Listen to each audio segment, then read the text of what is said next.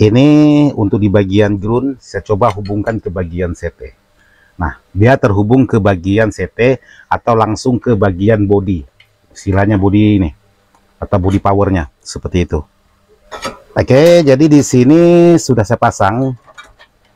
Bangkok pasang di bagian belakang tidak di bagian depan karena di sini melalui sekring pengaman. Jadi ini ada dua dua buah jadi plus dan min yang di jumper menggunakan kabel ini jadi kabel ini dari sekring langsung masuk ke bagian ini. Jadi di sini terukur tegangan DC-nya 70 volt. Karena tegangan di sini pas 200 volt. Dia akan menimbulkan percikan. Nah, seperti itu. Dia akan menimbulkan percikan. Nah, kenapa harus dibuang tegangan? Karena memasukkan di bagian sekring itu tidak sekaligus.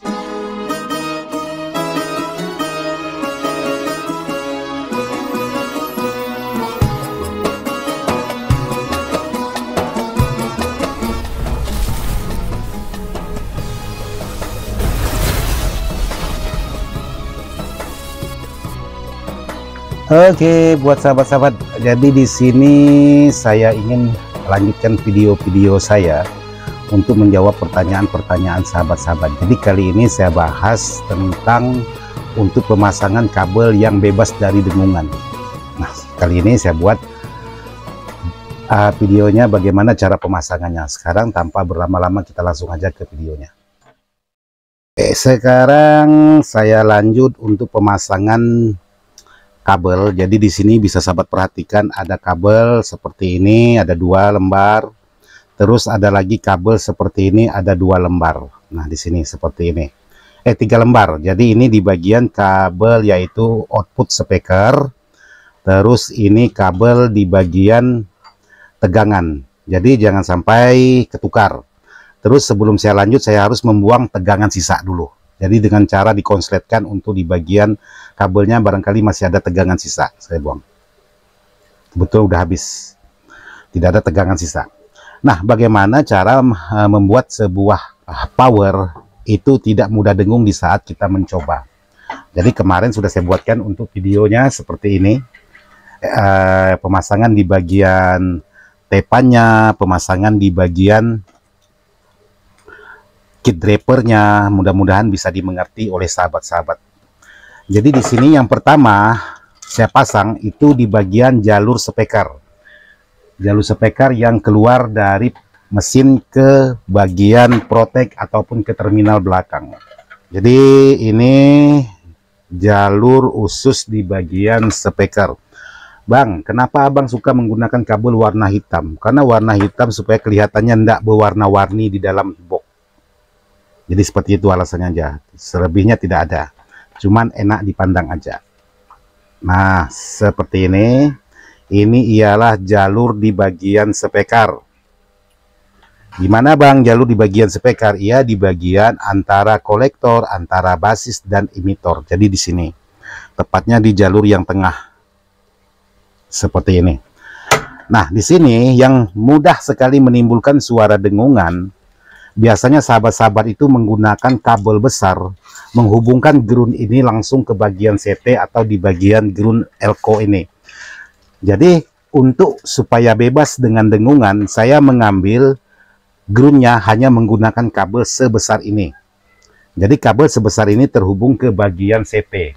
Jadi langsung ke bagian CT seperti itu. Jadi sekarang coba saya ukur Mudah-mudahan sahabat kelihatan untuk di bagian apometernya. Oke, sekarang saya tes. Ini untuk di bagian ground, saya coba hubungkan ke bagian CT. Nah, dia terhubung ke bagian CT atau langsung ke bagian body.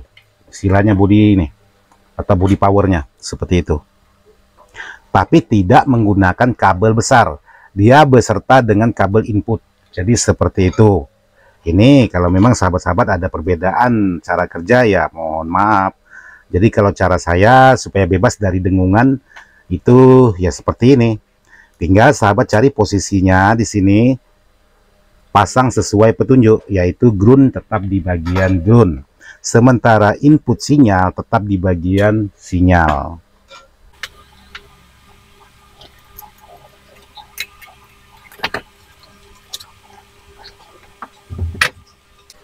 Nah, seperti ini. Jadi ground dan input. Jadi kalaupun kita ukur menggunakan apometer, di sini sudah terhubung ke bagian CT. Jadi sahabat bisa perhatikan di bagian multi saya. Saya sentuhkan ke bagian trapo di bagian CT-nya. Jadi sudah terhubung. Seperti itu. Sementara pastikan dulu untuk di bagian sinyalnya apakah terhubung juga. Kalau memang terhubung harus sahabat cari di mana terhubungnya. Nah, seperti ini. Jadi sinyalnya usahakan tidak ada terhubung. Jadi sinyal ini kalau sahabat matikan untuk di bagian volumenya maka dia akan terhubung seperti ini. Maka dia terhubung. Jadi kalau sahabat angkat atau buka di bagian volume maka dia akan berubah angka. Nah seperti itu. Sahabat putar di bagian volume. Nah maka dia ikut naik seperti ini. Apalagi sahabat menentukan. Tapi kalau sahabat tutup otomatis dia menjadi terhubung seperti ini. Maka suara menghilang jadi usahakan untuk di bagian input dibuka tidak ada terhubung seperti ini. Berarti pengerjaannya sudah betul dan benar. Jadi seperti itu.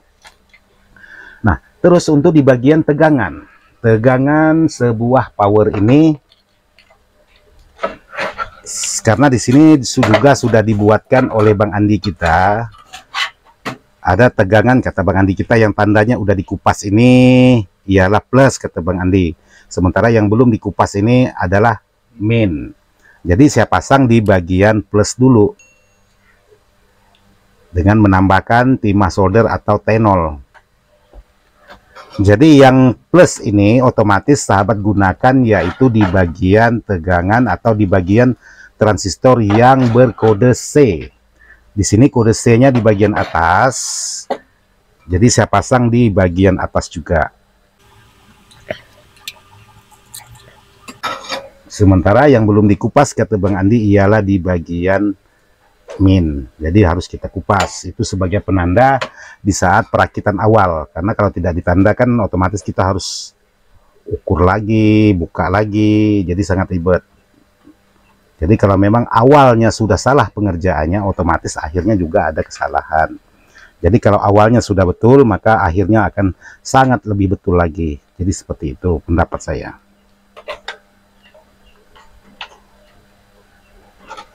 Oke, jadi di sini sudah saya pasang bangkok pasang di bagian belakang, tidak di bagian depan karena di sini melalui sekring pengaman. Jadi ini ada dua dua buah, jadi plus dan min yang di jumper menggunakan kabel ini. Jadi kabel ini dari sekring langsung masuk ke bagian ini. Nih, mudah-mudahan sahabat-sahabat kelihatan. Nah, kenapa saya simpan di bagian belakang? Seperti ini posisinya. Nah seperti inilah katakanlah seperti ini. Nah posisinya katakanlah seperti ini.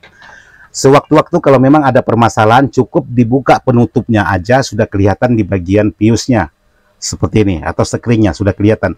Jadi tidak ragu-ragu untuk melepas entah takut setrum dan lain sebagainya jadi sangat mudah sekali di samping ini aja. Tapi kalau saya simpan di sini karena di sini banyak komponen, khawatirnya tersenggol komponen lain maka bisa menyebabkan setrum ataupun uh, short. Jadi seperti itu. Jadi sekarang ini sudah boleh dikatakan sudah dipasang semua. Saya mau coba memasukkan tegangan. Memastikan apakah betul mana min dan mana plus. Tapi untuk memasukkan tegangan hati-hati jangan sampai ada kesalahan. Kalau memang ada kesalahan maka bisa menyebabkan komponen itu kembali bermasalah. Jadi sekarang saya coba memasukkan tegangan. Terus di sini saya ukur menggunakan DC 1000 volt.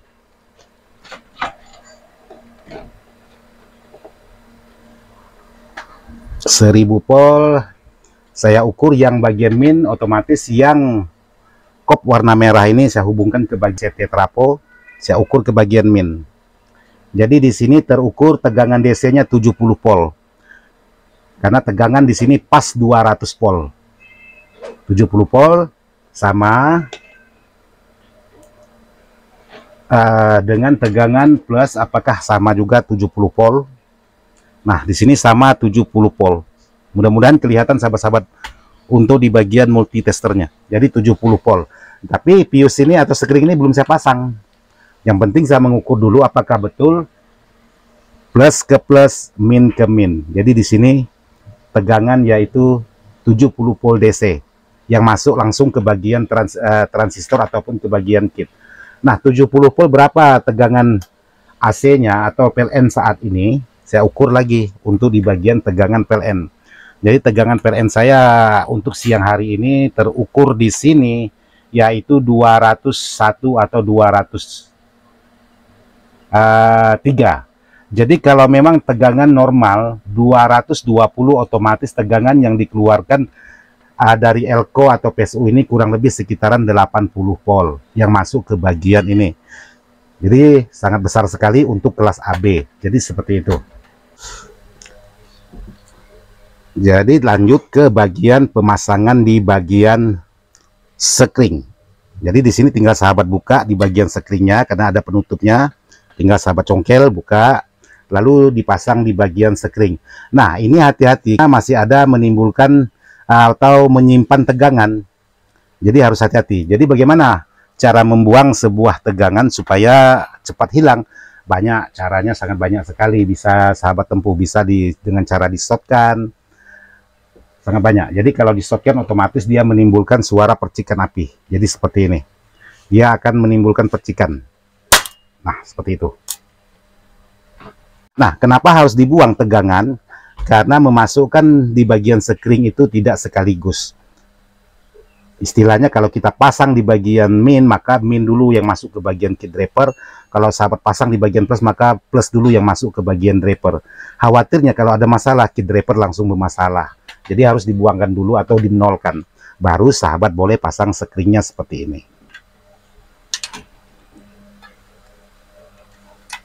Nah, seperti ini. Jadi ini udah aman, sudah terpasang. Untuk di bagian sekring, sekarang baru diposisikan seperti ini.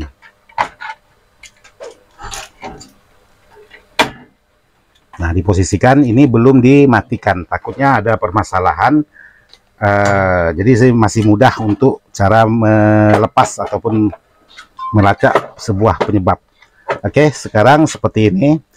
Untuk di bagian masukkan tegangan setelah dipasang sekring itu tidak boleh langsung dimasukkan listrik full langsung. Harus menggunakan hambatan seperti ini menggunakan bohram jadi di sini saya menggunakan bohram supaya kalau memang ada masalah di bagian transistor ini maka lampu bohram ini menyala dengan terang tapi kalau memang tidak ada masalah di bagian transistor ini bohram ini menyala lalu berubah menjadi redup jadi seperti itu. Sekarang saya coba memasukkan tegangan setelah saya masukkan stikernya ke bagian ini.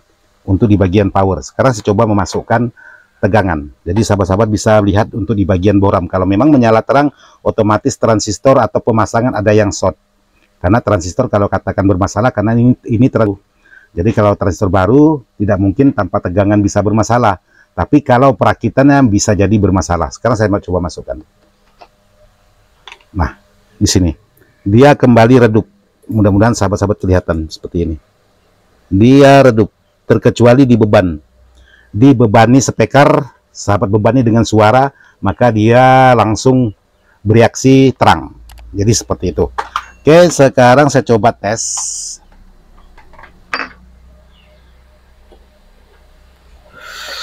Dengan menggunakan apometer digital, yang kop warna hitam saya selipkan ke bagian jalur speaker yang untuk di bagian min atau ground sementara kop di bagian yang warna merah di sini saya sentuhkan di bagian uh, jalur speaker atau jalur emitor nah seperti ini jadi kalau memang di sini posisinya 00 mudah-mudahan sahabat-sahabat jelas kelihatan Coba sahabat sentuh di bagian input, apakah ada pergerakan angka seperti ini. Nah, di sini langsung ada perubahan angka di saat disentuh di bagian inputnya. Nih, ini input. Nah, dia langsung menimbulkan angka. Jadi kalaupun kita pasang speaker seperti ini, disentuh di bagian input, maka dia akan menimbulkan suara. Jadi seperti itu. Berarti pemasangan dan cara kerjanya ini sudah berjalan dengan mulus, tidak ada permasalahan. Jadi harus menggunakan bohram dulu sebagai penghambat supaya kalau memang ada masalah tidak langsung menghajar di bagian transistornya. Jadi sangat mudah sebenarnya kalau sahabat-sahabat itu teliti, sangat sulit cara kerjanya kalau memang sahabat-sahabat tidak teliti. Jadi sangat-sangat mudah. Oke, buat sahabat-sahabat, eh, jadi seperti itulah cara kerja yaitu versinya Ismail Dadang. Kebetulan di sini ada Bang Andi. Assalamualaikum. Jadi macam mana? Udah ada bikin video? Alhamdulillah udah ada. Nah, jadi nama akunnya apa tuh? Gemoy gemoy. Gemoy Gemoy. Jadi buat sahabat-sahabat jangan lupa dukung Bang Andi kita nama akunnya. Uh, saya nggak tahu juga. Jangan lupa like, subscribe, komen. Ah, itu dia. Jadi di sini uh, muka saya sangat hitam sekali. Gak tahu ke memang kebetulan hitam memang. saya nggak tahu. Jadi saya cari ending yang bagus, tidak ada dapat dapat. Ah, di sini yang agak bagus. Nah, di sini. Ah, nah itu. Videonya tentang apa tuh Bang Andi? Ah, tentang track kita juga seperti Pak Ismail Dadang cuma agak beda. Kita kan baru-baru soalnya. Nah, jadi kita masang yang kepunannya aja. Oh gitu, Yalah. Jadi mudah-mudahanlah sukses ya, buat channelnya gemoy-gemoy. Oke, buat sahabat-sahabat, saya cukupkan sampai di sini. Mohon maaf tidak maksud hati untuk menggurui. Video ini saya buat atas dasar permintaan sahabat-sahabat sesuai dengan pengalaman yang sudah saya alami. Selebihnya dari itu, saya tidak maksud hati untuk menggurui sahabat-sahabat. Sekian dan terima kasih. Wassalamualaikum warahmatullahi wabarakatuh.